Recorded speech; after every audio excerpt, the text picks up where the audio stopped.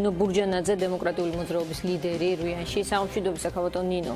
მადლობა გადაცემაში სტუმრობისთვის. ჩვენ მოვისმინეთ დავით უსუფაშვილის განცხადება. არ ვიცი უსმენდით თუ არა კავატო თინას მოსაზრებებს დაზუსტებებს აი ამ განცხადებასთან დაკავშირებით. და მოვისმინეთ თუ არა ის რაც მან თქვენს პარტიასთან და თქვენს იდეებთან დაკავშირებითაც თქვა რომ ნინო ბურჯანაძეს ეს უბლოკო სტატუსი პრაქტიკულად ნიშნავს იმას რომ თქვენ ხედავთ თქვენს ქვეყანას თქვენს სამშობლოს კრემლის კურანტების ფონზე. შეგიძლიათ გვითხრათ რა კომენტარი გექნებოდა დავით უსუფაშვილის ინიციატივის საპასუხოდ? ამ კალბეტონი ხიდაშელისთვის არ მისმენია სიმართლე გითხრათ ბოლო წუთნახევარი მოვისმინე მხოლოდ და სრულიად საკმარისია ძალიან ადვილად პროგნოზირებადია ახლა რა სიტყვის კალბატონი ხიდაშელი, რაც შეეხება ვინსად ხედავს და როგორ ხედავს საქართველოს, ძალიან მარტივად შემიძლია ვთქვა, კალბატონი ხიდაშელი და რესპუბლიკელები საქართველოს ხედავდნენ და ხედავენ აფხაზეთის და სამაჩაბლოს გარეშე და ეს განცხადებები ოფიციალურად აქვს გაკეთებული რესპუბლიკურ პარტიას. მე ვხედავ საქართველოს მხოლოდ და მხოლოდ აფხაზეთის და სამაჩაბლოს თან ერთად. და განუყოფელ საქართველოს ხედავ და ხედავ საქართველოს იქ სადაც არის. არც კურანტების ქვეშ არც ბრიუსელის ესე ვთქვათ დროშის ქვეშ და არც ნატოს დროშის ქვეშ და არც ამერიკის საელჩოს ხემძღვანელობის ქვეშ. ეს შემიძლია სრული პასუხისმგებლობით თქვა. მე ერთადერთი რაც მოვისმინე ბოლოს, რაც ქალბატონმა ხიდაშელმა ბრძანა, რომ მე მაქვს ხელი მოწერილი იმაზე, თუ ხარი მაქვს დაჭერილი, რომ საქართველოს ყოფილიყო ნატოს წევრი, დიახ, ნამდვილად მაქვს ამაზე ხელი მოწერილი. ნამდვილად ვემხრობოდი ამას, როდესაც საქართველოს ნატოში გაწევრიანების შანსი ჰქონდა. და როდესაც ეს საქართველოსათვის უფრო ხელსაყრელი იყო, ვიდრე დაუშვათ შეიძლება დღეს ამაზე ადამიანები ლაპარაკობდნენ. პოლიტიკოსი, რომელიც არ იცვლება ესეც ითქვა რომ 30 წელი არ შევცვლივარ თუ იმიტომაც აქვს რესპუბლიკურ პარტიას მუდმივად 2 და 3% რეიტინგი რომ არ იცვლება. პოლიტიკოსი რომელიც არ იცვლება და პოლიტიკოსი რომელიც არ ხედავს როგორ იცვლება რეალური სიტუაცია მის ქვეყანაში და მისი ქვეყნის გარეთ ის ვერასოდეს ვერ მოაგვარებს ქვეყნის პრობლემებს. მას შემდეგ რაც მე მხარს უჭერდი ნატოში გაწევრიანებას საქართველოსი პრინციპულად შეიცვალა ვითარება 2008 წლის ომი მოხდა 2008 წლის ომის შემდეგ საქართველოს ტერიტორიაზე შემოვიდა რუსული ჯარები აფხაზეთში და სამაჩაბლოში. გარდა ამისა, რუსეთი გაძლიერდა განუზომლად, სხვა იყო ელცინის რუსეთი, როდესაც საქართველოს ნატოში გაწევრიანება შეიძლება საქართველოსთვის არ ყოფილიყო დამღუპელი და არც იქნებოდა და სხვა არის დღევანდელი რუსეთი, რომელიც არის ძალიან ძლიერი და რომლის ჯარებიც ჩვენს ტერიტორიაზე დგას.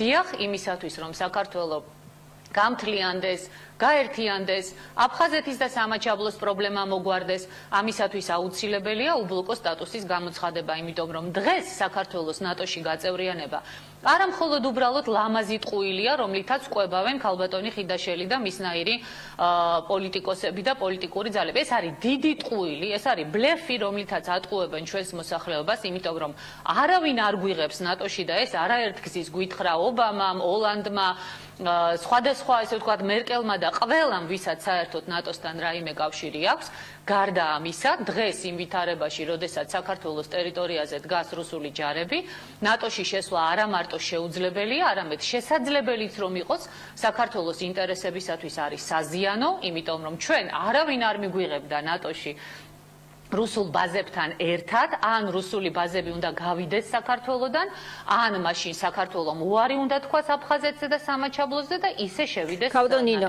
კავდონინო, აი აფხაზეთის და სამაჩაბლოს garaშე საქართველოს აი თუ შეიძლება რომ დაზუსტება გთხოვოთ კონკრეტული განცხადებები იქნებ შეგვახსენოთ, როდის უთქვათ რესპუბლიკური პარტიის წარმომადგენლებს, რომ აფხაზეთსა და სამაჩაბლოს garaშე ხედავენ ისინი საქართველოს მომავალს, იმიტომ რომ მათი წარმომადგენელი აქ რომ იყოს აუცილებლად დაგისვამდა. არა, ის გაკეთებულა კავდონინო, ასეთი განცხადებები თქვენ კარგი კარგი მეხსიერება გაქვთ და შეიძლება მოძებნოთ რომ ჯერ საქართველოს შევიდეს ევროკავშირში და ნატოში და შემდეგ ვილაპარაკოთ აფხაზეთში.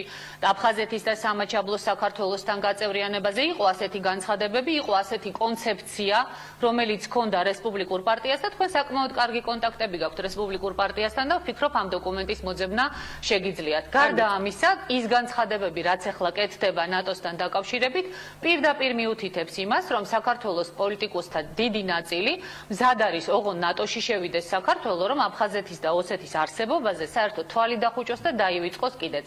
სხვაგვარად გონიერი პოლიტიკოსი ვერ ახსნის როგორ აპირებს ის ნატოში შესვლას, მაშინ როდესაც აი ამ ადგილიდან ახლა მე თბილისის ცენტრში ვზივარ, ხო? ამ ადგილიდან 20 წუთის საავტომობილო გზით სავალ გზაზე რუსული სამხედრო შენაერთებია. დიახ, მე ვხედავ იმას, რომ საქართველოს აუცილებლად უნდა დაელაპარაკოს რუსეთს. დიახ, მე ერთადერთ გზას საქართველოს გამთლიანებისა ვხედავ იმაში, რომ რა თქმა უნდა დასავლეთთან პარტნიორობა და თანამშრომლობა ისევე როგორც აღმოსავლეთთან, სამხრეთთან უნდა შენარჩუნდეს, მაგრამ რუსეთთან დიალოგის თქმა არის სწორედ ქვეყნის ინტერესების საწინააღმდეგო. მე ძალიან ვერიდები ისეთი ტერმინების გამოყენებას, რომლის გამოყენება სულაც არ ერიდება რესპუბლიკური პარტიის წარმომადგენლებს და სხვა ეგრეთ წოდებულ პროდასაურ წარმომადგენლებს, მაგრამ დიახაც იმის თქმა, რომ რუსეთ საქართველოს არ უნდა დაელაპარაკოს, ან არის ძალიან დიდი სიბრიყვე და სიბრიყვეში ხა ნამდვილად ვერ დავანაშაულებ რესპუბლიკური პარტიის წარმომადგენლებს, იმიტომ რომ ნამდვილად არ არიან ბრიყვები, ან რაღაცა სხვა რამესთან აგვაქვს საქმე. ნინო, მე ხა რამდენიმე დღეა სულ მახსენდება, იცით, როდესაც ჩვენ გვეუბნებიან, რომ არ უნდა დაელაპარაკო რუსეთს, რუსეთი ოკუპანტია, სანამ არ გაიყვანს ჯარს არ დაელაპარაკო. უკაცრავად, მაგრამ მაგ ლოგიკით მე ხათ გამახსენდა ძალიან კარგად, სწორედ იმიტომ, რომ 71 წელი შესრულდა, სწორედ ეხლა 8 და 9 აგვისტოს ჰიროსიმაში და ნაგასაკში ატომური ყუმბარების ჩამოგდების შემდეგ. ამერიკის შეერთებულმა შტატებმა, რომელიც ჩვენ იდეალად გავიხადეთ, ამერიკას ძალიან ბევრი პლუსები აქვს, მაგრამ ძალიან ბევრი მინუსები აქვს, მათ შორის საერთაშორისო პოლიტიკაში, გააკეთა ის, რაც სხვათა შორის რუსეთს არ გაუკეთებია. ამერიკის შეერთებულმა შტატებმა ბირთვული იარაღი, ბირთვული, ესე ვთქვათ, ატომური იარაღი გამოსცადა აბსოლუტურად უდანაშაულო ადამიანებზე. არანაირი აუცილებლობა მეორე მსოფლიო ომი პრაქტიკულად დასრულებული იყო, პრაქტიკულად კი არა დასრულებული იყო, არანაირი აუცილებლობა ატომური ყუმბარების ჩამოგდების არ იყო. ჩამოაგდეს იმიტომ, რომ გამოეცადათ მისი ძალა და იმიტომ, რომ დაენახვებინათ საბჭოთა კავშირისათვის, რომ ასეთი გამანადგურებელი იარაღი აქვს და ეშინებინათ საბჭოთა კავშირი. ამაზე არა, უკაცრავად არაფერი გასაგები არ არის, ნინო, ერთი წამით რა. მინდა მოსახლეობა მიცოდეს. ამის შემდეგ ალბათ ძალიან მტკივნეული იყო ხო იაპონელებისათვის. ეს 250000-ზე მეტი ადამიანი დაიღუპა და 100000ობით ადამიანი დასახიჭრდა და თაობებს გადაეცა ინვალიდობა დღეს ამერიკის შეერთებული შტატები. და იაპონია არიან სტრატეგიული პარტნიორები და ჩვენ ბრიყვულ პოლიტიკას რო წაყოლოდა იაპონია დღეს საერთოდ არ უნდა კონდეს დიპლომატიური ურთიერთობები ამერიკის შეერთებულ შტატებთან. აი პოლიტიკა არის ის რასაც აწარმოებს იაპონია რასაც აწარმოებს ერდოღანი როდესაც მიუხედავად იმისა რომ ძალიან მტკივნეული იყო მისთვის მისი ოჯახის ავად მოხსენიება ჩავიდა რუსეთში და თავისი საკუთარი სახელმწიფოს ინტერესები განახორციელა. პოლიტიკა არის ის, რომ გერმანიაც, საფრანგეთიც, ამერიკის შეერთებული შტატებიც ყველა ელაპარაკება რუსეთს და საერთოდ ლაპარაკი პოლიტიკაში იმაზე, რომ ვიღაცას არ უნდა დაელაპარაკო, იმიტომ რომ დაგჩაგრა და გაბრაზებული ხარ, თუ ეს უბრალოდ სასაცილოა სატირა. ქავადონინო, თქვენ ბრძანეთ, რომ ჰიროსიმა და ნაგასაკი გაგახსენდათ, ბუნებრივია ეს ისტორიულად შესაძლოა ბევრს ახსოვს, თუმცა 8 აგვისტო იყო უფრო ახლოს და ჩვენ ჩვენ ქვეყანაში მოქალაქეებს ეს თარიღი ძალიან კარგად ახსოვს. სწორედ ამის გამო არის სწორედ რუსეთთან ურთიერთობასთან დაკავშირებით და ღირებულებით და ფასეულობით სხვაობასთან დაკავშირებით განსხვავებით ამერიკა იაპონიისგან ამდენი კამათი. სწორედ ამიტომ მაქვს ერთი შემდეგი შეკითხვა მე.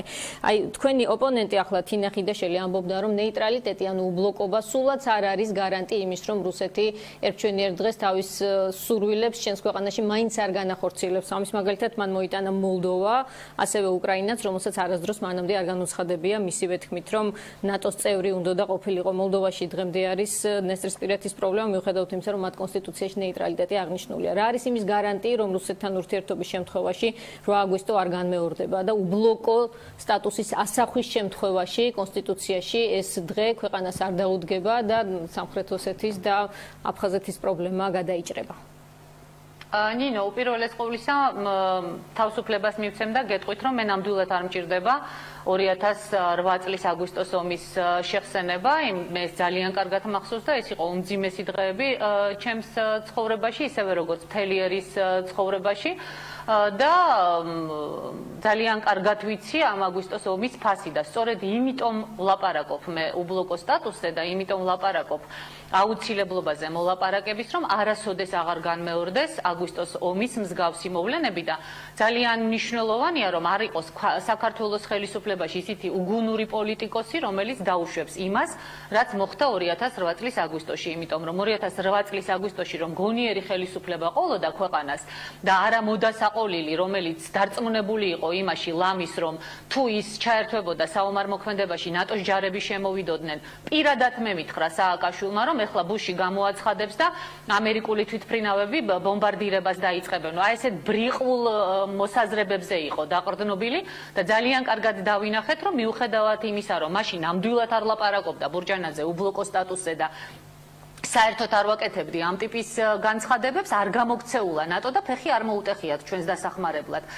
ნამდვილად ძალიან კარგად მახსოვს ეს და ძალიან კარგად ვიცი რომ ხვალაც ღმერთმა დაიფაროს, მაგრამ ჰიპოთეტურად რომ წარმოვიდგინოთ რომ რამე გაუჭirdება საქართველოს, არც ნატოს ჯარი და არც ამერიკის ჯარი საქართველოს ნამდვილად არ დაეხმარება. ამიტომ ჩვენი ამოცანა არის ის კი არა რომ ნატოს ინტერესებს ვემსახურო. დიახ, ამერიკა სჭირდება, რომ საქართველოსში ჰქონდეს მას დასაყრდენი.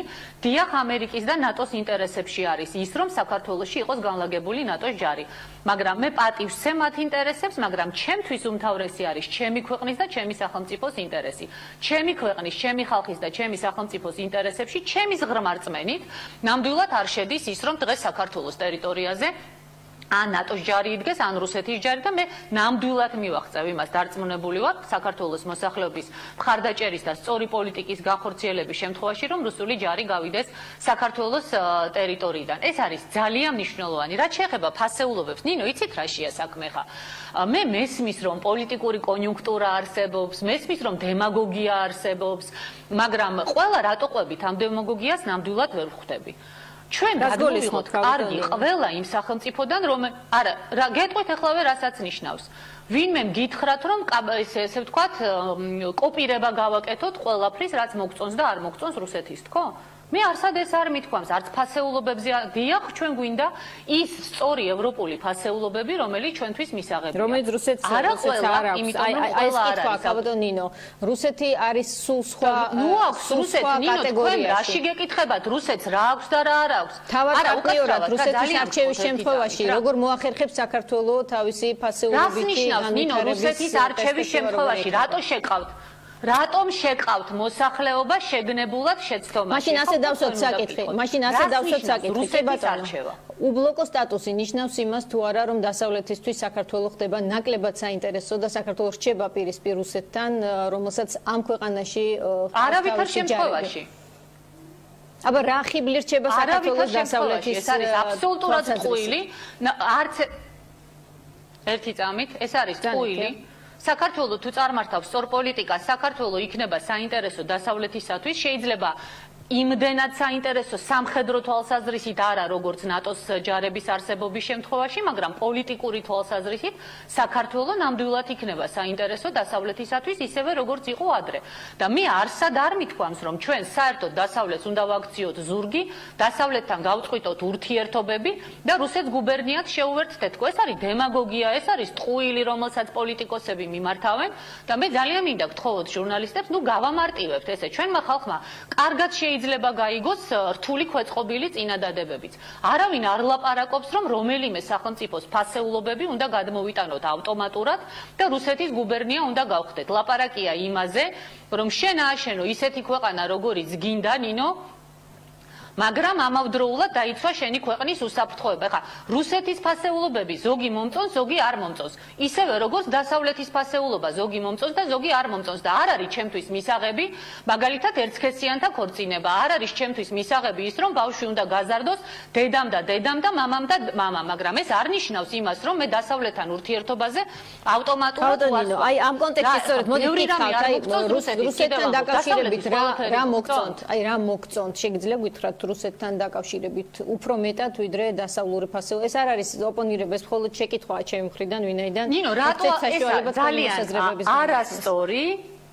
ძალიან არასწორი, ძალიან მარტივი და ნუ როგორ გითხრათ ახლა უფრო სხვა სიტყვა არ მინდა გამოვიყენო. ქალბატონმა მერკელმა თქვა რომ არჩევანის გაკეთება და დაყენება ესე რომ ან რუსეთი ან ბრიუსელი ეს არის არასწორიო იმიტომ რომ ნორმალურმა ქვეყანამ უნდა ითანამშრომლოს რუსეთთანაც და ბრიუსელთანაცო და ეხლა ნუ ბურჯანაძის რომ არ გჯერათ და არ გინდათ გაიგონოთ რას ვამბობ? გასაგებია მაგრამ ეხლა ქალბატონი მერკელი მართალია ერთხელ სააკაშვილმა დააბრალა პრორუსულიაო მაგრამ ნუ მაინც ასეა თუ ისეა გერმანიის კანცლერია რა.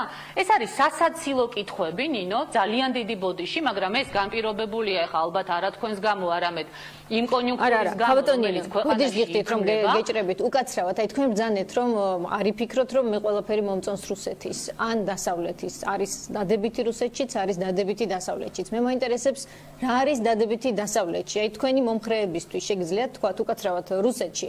აი რატომ რატომ ნეიტრალიტეტი?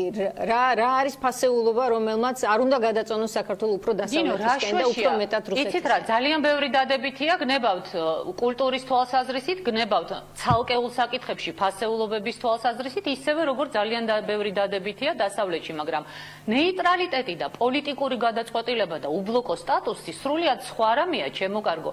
ეს განსხვავდება იმისაგან, შენ მოგწონს თუ არ მოგწონს, ამის მიხედვით შეგიძლია დაპატიშო დაბადების დღეზე მეგობარი. მოგწონს თუ არ მოგწონს, ამის მიხედვით შეიძლება აირჩიო, თქვათ, იგივე სამეგობრო წრე, მაგრამ როდესაც ყავს სამეზობლო წრე, უნდა იმოქმედო არა ემოციების მიხედვით, ეს არის ორჯერ ორი პოლიტიკაში და მე უბრალოდ ძალიან მიკვირს, რომ განათლებულ და კულტურულ საზოგადოებაში საერთოდ იმის ახსნა მიწევს, რომ მეზობელს, რომელიც შენს გვერდით ცხოვრობს და რომელსაც ვერსად ვერ გადაასახლებ, უნდა დაელაპარაკო. მით უმეტეს, როდესაც ამეზობელს ელაპარაკება მთელი ის დასავლეთი, რომელსაც ასე მონურად მიშერებია მთელი ესე ვთქვათ საქართველოს პოლიტიკური სპექტრის ძალიან დიდი ნაწილი. მე გეკითხებით ნინო და გამეცით პასუხი ძალიან გთხოვთ. რატომ არ უსვამთ მაშინ დასავლეთის წარმომადგენლებს კითხვებს? რატომ ელაპარაკებიან რუსეთს? რატომ ეთანამშრომლებიან? მე ქალბატონინოს ხმა საერთოდ აღარ მესმის. არა, აქ ვარ ქალბატონინო, უბრალოდ გისმენთ. ყურადღებით. აა, კი ბატონო, ეხა მესმის. ძანეთ კი. და ეს კითხვები ხომ არ ისმება, ნინო? კითხვა ხომ არ ისმება, რატომ თანამშრომლობს ამერიკის შეერთებული შტატები რუსეთთან? რატომ ურეკავს ობამა პირდაპირ პუტინს და რატომ ელაპარაკება? თქვენ ფიქრობთ, რომ ამერიკის შეერთებული შტატები და საქართველოს ერთი წონითი კატეგორიაა, ქალბატონინო? ეს ეს ცოტა სხვადასხვა წონითი კატეგორია არის. ერთი წონითი კატეგორია რომ არა ხარ ამერიკის შეერთებული შტატები არ აძლევს თავის თავს. ნინო ერთი წამით რა მე არ მახსოვს მსოფლიო ისტორიაში ისეთი მომენტი როდესაც ჯერ დაელაპარაკა და მე არ დაელაპარაკა ამერიკის შეერთებული შტატები რუსეთს ეგეთი არ ყოფილა. მაგრამ დიახაც სწორედ იმიტომ რომ ამერიკის შეერთებული შტატების წონითი კატეგორია არ ახარ ზუსტად იმიტომ არ უნდა იდგე გაბუტულის პოზაში რუსეთთან ზურგშექცეული და ზუსტად ამიტომ უნდა დაელაპარაკო როცა ამერიკის შეერთებული შტატები არ აძლევს თავის თავს იმის უფლებას რომ რუსეთს გაებუტოს საქართველოს ამის თავის თავისთვის უფლების მიცემის უფლება მარა აქვს? მე მგონი ამას. რა გარანტია რჩება საქართველოს უსაფრთხოებისთვის კონსტიტუციაში ნეიტრალიტეტის და უბლოკობის ასახვის შემთხვევაში. ვინ და რა ხდება პატარა ოკუპირებული ქვეყნის უსაფრთხოების გარანტი? თუკი დასავლეთთან დისტანცირებას მოახდინებს მოახდენს საქართველოს. მე მის ნინო ჯერ ერთი მოდით მოდით დავიწყოთ იმით, რომ ეს ისტერიკა, რომელიც ატყდა, არის, რა თქმა უნდა, ესე ვთქვათ, მართლა წინასაარჩევნო სპეკულაცია და მართლაც და რა თქმა უნდა, წინასაარჩევნოდ გამოყენებული, თუმცა მე შემიძლია მხოლოდ მადლობა გადაუხადო ბატონო სუფაშვილს და რესპუბლიკურ პარტიას, იმიტომ რომ რესპუბლიკური პარტია რაც მეტად გაგლანძღავს, ნამდვილად გარწმუნებთ, რომ ჩემი ამომრჩევლისთვის მით უკეთესია და მით უფრო მეტ მობილიზაციას მოახდენს ხმებისას, არა მარტო იმათი, ვინც დღეს მე მხარს მიჭერს, არამედ ძალიან ბევრი სხვა ადამიანისაც, ვინც შეიძლება შეიძლება ჯერ კიდევ ყოფმანობს. ასე რომ კი ბატონო, არ მეშინია ნამდვილად შეგიძლიათ მაკრიტიკოთ რამდენიც გნებავთ მიმართავ რესპუბლიკელებს და სხვა მათ მსგავს პოლიტიკურ ძალებს. მე ესე ვთქვათ, ქალბატონინო, ბუნებრივია ვარ ოპოზიციური პოლიტიკური ძალა და ამ წუთში არანაირი ძალა არ მაქვს და ვერც ვერაფერს ვერ გამოვაცხადებ თუ არ იქნა ხალხის მხარდაჭერა. თუ საქართველოს მოსახლეობის 200.000 წარმომადგენელი მხარს დაუჭერს ამ ინიციატივას. განიხილოს მომავალმა პარლამენტმა ეს გადაწყვეტილება. რა თქმა უნდა პარლამენტი მიიღებს იმის შესაბამის გადაწყვეტილებას რა ტიპის პოლიტიკურ ძალებსაც მისცემს მანდატ საქართველოს მოსახლეობა. ესე იგი ეს იქნება მოსახლეობის ნება. ჩვენ რა გვინდა რომ რესპუბლიკური ჭკუის პარტიის ჭკუაზე იაროს თელმა საქართველოს და არა საქართველოს მოსახლეობის ჭკუაზე ეს ძალიან ესე ვთქვათ მარტივია, მე შემოვიტანე საკონსტიტუციო ცვლილება. ეს არის განხილვის საგანი და განვიხილოთ. თუმცა რაც ბატონმა დავითმა ბრძანა, რომ დავიმკვიდროთ სრულფასოვანი ადგილი დემოკრატიული სახელმწიფოების უსაფრთხოების და თანამშრომლობის ევროატლანტიკურ სისტემაში, კი ბატონო, დაიმკვიდრეთ. ვინ გიშლით? სისტემაში თუ ნორმალური ადგილი აქ ბლოკი არ წერია სხვათა შორის და არც პირდაპირ ნატო. თუ ევროპულ და საერთაშორისო სისტემაში, უსაფრთხოების სისტემაში საქართველოს დაიმკვიდრებს ღირსეულ ადგილს, ამაში მე ვერაფერს აწინააღმდეგოს ვერ ხედავ უბლოკო სტატუსთან, იმიტომ რომ ქალბატონო ნინო, უბლოკო სტატუსი აქვს გამოცხადებული ავსტრიას, შვეიცარიას, ფინეთს, ძალიან ბევრ სხვა ქვეყანას, მაგრამ ისინი ევროპული ფასეულობების ნაწილიც არიან. ევროპული კულტურის და არანაკლებ არავიზე ნაკლები ცივილიზებული სამყარო არ არიან. ეხლა თუმცა რატო ვართ ჩვენ, ასე ვთქვათ, უფრო ევროპა ვიდრე რუსეთის ევროპული ნაწილი? ეს მოდით კიდე საკამათო თემაა და ამაზე ცალკე ვილაპარაკოთ, მაგრამ დღეს ამას ნუ შევეხებით. რაც შეეხება გარანტიებს. გარანტიებზე ლაპარაკით ქალბატონო ნინო, ასე ვთქვათ, აი ესე შიშულად ლაპარაკი გარანტიებზე, ესეც ასევე, ასე ვთქვათ, პოლიტიკური არაპროფესიონალიზმია, იმიტომ რომ გარანტიები მიიღწევა მოლაპარაკებების შედეგად. თუ ჩვენ და ამ შემთხვევაში მოსახლეობა თუ შემოხაზავს სამ ნომერს, რომელიც თქვენ ეკრანზე კარგად ჩანს და აირჩევს კომპეტენტურ და გამოცდილ ადამიანს და არა ვინმეს დაუშვათ იმის ხათრით, რომ ბიძინა ივანიშვილმა დაასახელა, რომელიც მეરે თავისავე ლეგიტიმურობას, ესე ვთქვათ, კითხის ნიშნის ქვეშ დააყენებს, თუ ჩვენ გვექნება მოლაპარაკების მანდატი, გარწმუნებთ, რომ მე ისე წარმართავ მოლაპარაკებებს, რომ ესე ვთქვათ, ზეპირდაპირებებზე კი არ იქნება ეს მოლაპარაკებები და გარანტიები აგებული. გარანტია მიიღწევა მაშინ, როდესაც შეთანხმებაში იქნება ჩადებული ისეთი დებულებები, რომელიც აწყობს შეთანხმების ორივე მხარეს. ანუ შეთანხმება უნდა შედგეს ჩვენსა და რუსეთს შორის ისეთი, რომელიც იქნება ხელსაყრელი საქართველოსთვის ერთის მხრივ და მეორეს მხრივ იქნება ეს ეს მომავალი საუბრის მომავალი საუბრის თემა. გარანტია ნინო რომ რუსეთი რა თქმა უნდა და ეს არის გარანტია, რომ რუსეთმა არ დაარღვიოს ხელშეკრულება, იმიტომ რომ როდესაც ხელშეკრულებაში იქნება ისეთი დებულებები ჩადებული, რომელიც რომლის შესრულებაც თავად რუსეთის ინტერესებშია, ის რა თქმა უნდა ამ ხელშეკრულებას არ დაარღვევს. რა არის ერთ-ერთი მნიშვნელოვანი თემა, რომელზეც შეიძლება რუსეთის ინტერესი ჩვენ ერთი წუთით შეება ქალტონინო, თქვენი შვიდობა და უსასმენი გაითიშება, უბრალოდ მინდა რომ გთხოვოთ, რომ მოკლედ შევაჯამოთ ჩვენი ეთერი, აღარ გვექნება. კი ბატონო. ძანეთ. ეს არის მაგალითად უსაფრთხოების თემა, რომელიც არის ძალიან მნიშვნელოვანი რუსეთისათვის, იმიტომ რომ კავკასიის უსაფრთხოება არის ძალიან მნიშვნელოვანწილად დამოკიდებული საქართველოს და ნინო, ეხა იცით რა არის? ჩვენ თუ ვერ ხვდებით იმას, რა ცვლილებები ხდება მსოფლიოში, ერდოღანის და პუტინის შეხვედრა, რუსეთის პრეზიდენტის, აზერბაიჯანის და ირანის პრეზიდენტის შეხვედრა, მთლიანი გლობალური ცვლილებები და იგივე მენტალიტეტით აპირებენ პოლიტიკოსები მსჯელობას, როგორც 30 წლის წინ და 10 წლის წინ მსჯელობ ვცდილობდნენ, ეს საქართველოს დააქცევს და მე ჩემის მხრიდან შევეცდები, რომ მოსახლეობა დავარწმუნო, რა არის სწორი გზა. თქვენ შეეცადეთ, რომ დაარწმუნოთ იმ გზის ისტორიაში, რომელზეც ამდენი ხანია მივდივართ, მაგრამ ვერანაირად კარები ვერ შევაღეთ. აკაკუნეთ ბატონო ნატოს კარებზე სანამ არ მოგბეზრდებათ, მე ამაში ხელს არ გიშლით, მე მომეცით საშუალება, რომ ვეცადო, რომ ქვეყანა გადავარჩინო და წავიყვანო იმ გზით, რომელიც მე მიმაჩნია სწორად. ვის მისცემს მოსახლეობა ხმას? ეს გამოჩნდება და შედეგები შესაბამისი იქნება. დიდი მადლობა. ნინო ბურჯანაძე დემოკრატიული მოძრაობის ლიდერი პასუხობდა რუიანის შეკითხვებს. ნახოთ, რას ფიქრობს ამ თემაზე ქართული ოცნების წარმომადგენელი. რამდენიმე წუთში დაუბრუნდებით რეკლამის შემდეგ დროებით.